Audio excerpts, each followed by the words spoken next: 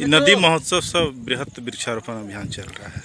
इसके तहत अभी पाकुड़ ज़िले के छः प्रखंड है। हर एक प्रखंड में कितने योजना है आप लोग का? नदी महोत्सव पाकुड़ ज़िले में ये एक ही जगह पे है महेशपुर में। इसमें करीब टेन किलोमीटर डिस्टेंस पे हम लोग पौधारोपण कर रहे हैं। इसमें करीब तीस हज़ार पौधा लगा रहे हैं। अच्छा अच्छा।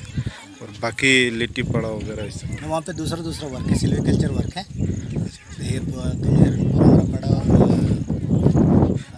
लिट्टी पड़ा में सिल्विकल्चर वर्क है। वहाँ पे भी करीब हज़ार हेक्टेयर में सिल्विकल्चर वर्क है। वहाँ पे करीब दो लाख पौधा लग रहा है।